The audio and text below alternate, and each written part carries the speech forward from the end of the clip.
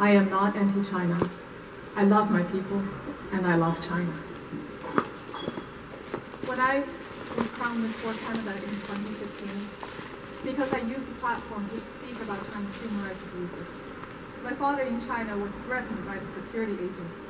His business dismantled. Now my grandparents and him are both banned, all banned from traveling outside. I could go on,